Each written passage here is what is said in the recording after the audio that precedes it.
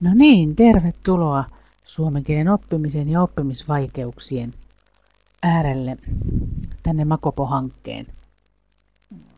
Digma. Osioon ja, ja tässä nimenomaan tässä suomen kielen oppimisen ja oppimisvaikeudet osiossa pääset pohtimaan, miten opettaja voi tukea maahanmuuttajataustaisen opiskelijan suomen kielen oppimisvalmiuksia ja ylipäätään oppimista. Pääset myös pohtimaan sitä, että mikä, mitkä tekijät edesauttaa ylipäätään oppimaan oppimista ja millä tavalla sitten nämä oppimisen, oppimisen mahdollisuudet ja oppimaan oppimisen valmiudet vahvistavat sitä oppimista ja toisaalta taas sitten minkälaisia oppimisvaikeuksia juuri nimenomaan maahanmuuttajataustaisella opiskelijalla voi olla. Olet ehkä jo miettinytkin osaamistavoitteita tässä moduulissa, että mitä ne mahtaisi olla. Ja tässäpä ehkä keskeisimmät, eli, eli tarkoitus on se, että tulisi, tulisit tunnistamaan maahanmuuttajataustaisten opiskelijoiden monenlaisuutta oppimisessa ja hyvin erilaisia tukitoimia. Ja tietenkin nimenomaan me tarkastellaan tätä, näitä teemoja hyvin pitkälle suomen kielen oppimisen näkökulmasta. Ja tarkoitus on myös, että tässä modulissa saisit valmiuksia lisää tunnistaa maahanmuuttajataustaisten opiskelijoiden henkilökohtaisia vahvuuksia ja nimenomaan niitä tekijöitä, jotka vahvistaa opiskelijan oppimista. Ja sitten vielä tämän modulin ajatus on se, että saisit ja voisit vahvistaa ja kehittää myöskin erityispedagogisten menetelmien osaamistasi ja ylipäätään mahdollisuuttasi kokeilla, soveltaa erityispedagogisia menetelmiä suomen kielen opetuksen ja ohjauksen kysymyksissä. Sitten vielä kehittää ja uudistaa erityispedagogisia menetelmiä ja oppimisympäristöjä materiaaleineen nimenomaan suomen kielen oppimisessa. Tässä keskeisimmät tavoitteet, jos ajatellaan tätä modulia, millaisia teemoja täällä on ja millaisiin asioihin pääset tutustumaan. Noin moduulin yleiskuvauksesta vielä sitten jokunen sana, eli, eli modulissa, tässä modulissa tarkastellaan nimenomaan nyt näitä asioita, näitä ilmiöitä inklusiivisen ammatillisen koulutuksen toimintatapojen välityksellä ja, ja tarkastellaan myös niitä erityispedagogisten menetelmien soveltamismahdollisuuksia ja, ja, ja, ja myöskin suomen kielen oppimisen tukemista ja ohjausta, mi, mi, miten sitä voidaan toteuttaa.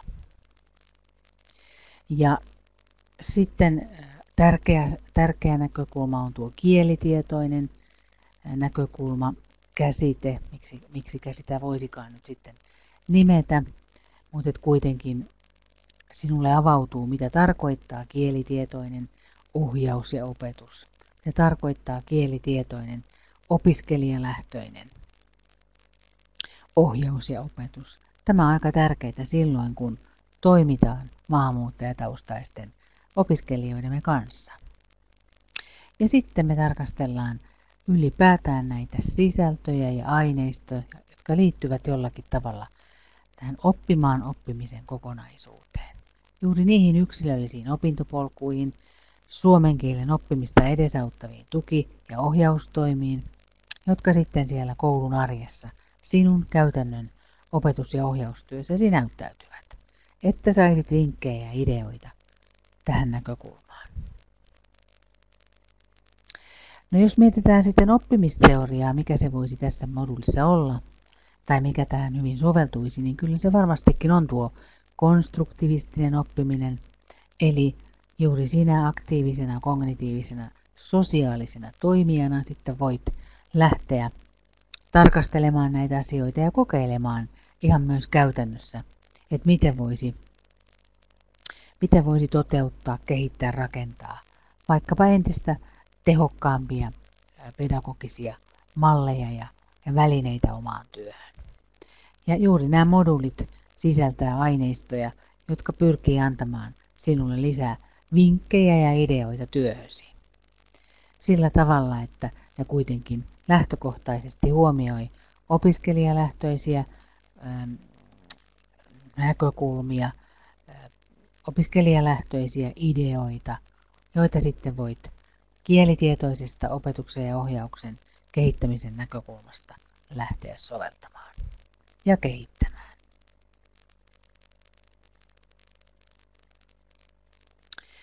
Ja juurihan se on niin, että kyse ei ole siitä, miten opettaja haluaa opettaa, vaan nimenomaan siitä, miten oppija haluaa oppia.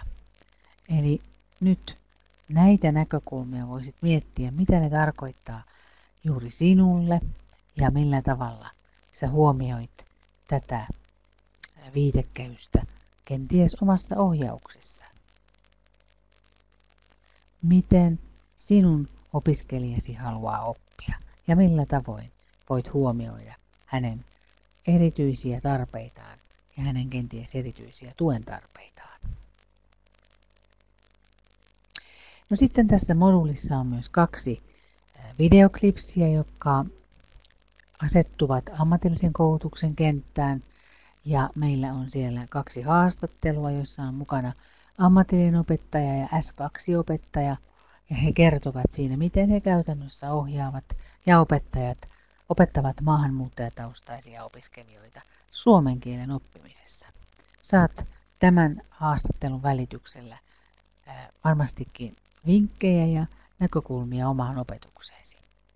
Ja toinen videoklipsi kertoo sitten tai kuvaa ammatillisen opettajan ja edelleen S2-opettajan yhteistyötä maahanmuuttajataustaisen ö, opiskelijan suomen kielen oppimisen tukimuodoista ja, ja tota, ylipäätään siitä, miten sitä yhteistyötä tehdään ja millä tavalla moniammatillinen yhteistyö nyt sitten näyttäytyy näissä kyseisissä oppilaitoksissa ja miten voisi sitten ylipäätään näitä ajatuksia soveltaa opetushenkilöstön osaamiseen, opetushenkilöstön moniammatilliseen yhteistyöhön. Nämä on hyvin pitkälle sellaisia arjen näkökulmia, joita, joita nämä videoklipsit tarjoilevat ja toivottavasti nimenomaan niistä arjen hyvistä käytännöistä voit soveltaa myös itsellesi toimivia työskentelytapoja.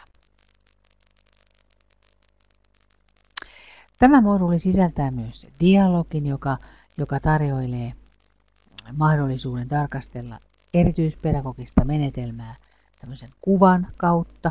Eli meillä on kaksi kuva, kuvamenetelmää, joista toinen on photovoice-menetelmä ja toinen voimaanottama valokuvamenetelmä. Ja pääset niistä tämän dialogi tallenteen välityksellä sitten kuulemaan ja näkemään, mistä silloin on kysymys ja millä tavoin näitä tätä valokuvamenetelmää voi käyttää voimaannuttavalla ja, ja rakentavalla tavalla ohjaustyössä tai opis, ylipäätään opiskelijoiden kanssa toimiessa. Millä tavalla valokuva voi kertoa enemmän kuin tuhat sanaa.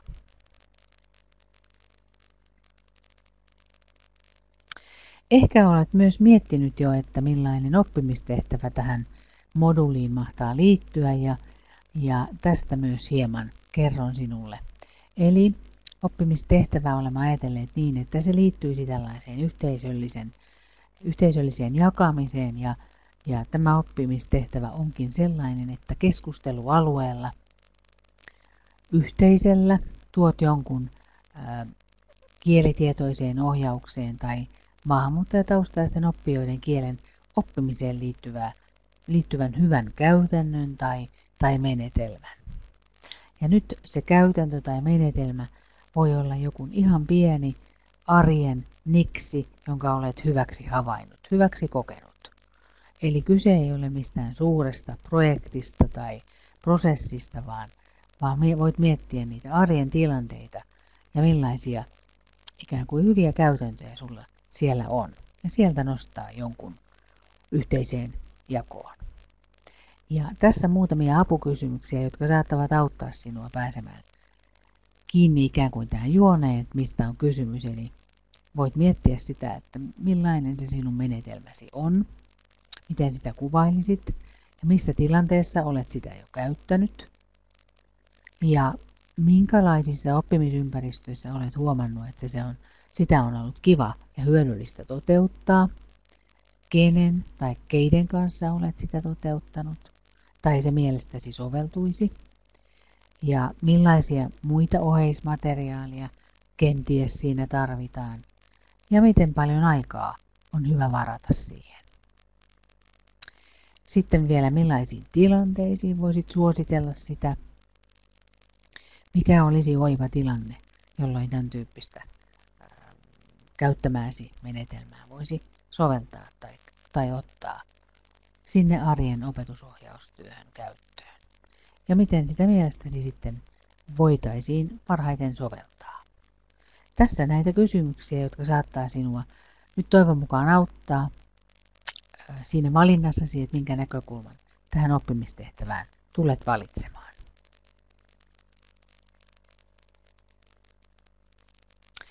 Ja vielä sitten ihan lopuksi tämän meidän modulin suomen kielen oppiminen ja oppimisvaikeudet sisällön neljä osa-aluetta, jotka siis ovat ykkönen, suomen kielen oppiminen ja siihen liittyvät edellytykset, ja osio kaksi, valmiuksia tunnistaa maahanmuuttajataustaisten opiskelijoiden suomen kielen oppimista vahvistavia tekijöitä.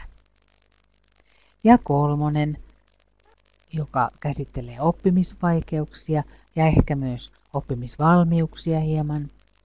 Ja sitten tämä nelososio, pedagogisia lähestymistapoja oman opetuksen ja ohjauksen kehittämiseen. Nyt sitten ei muuta kuin toivottelen sinut lämpimästi tervetulleeksi tähän moduuliin ja on hienoa, että, että lähdet tutustumaan näihin materiaaleihin ja, ja miettimään näitä asioita liittyen juuri omaan työhösi ja oman työsi kehittämiseen. Toivon sinulle iloisia ja inno, innokkaita kehittämisen hetkiä tai oppimisen hetkiä tässä modulissa. Tervetuloa siis mukaan innolla.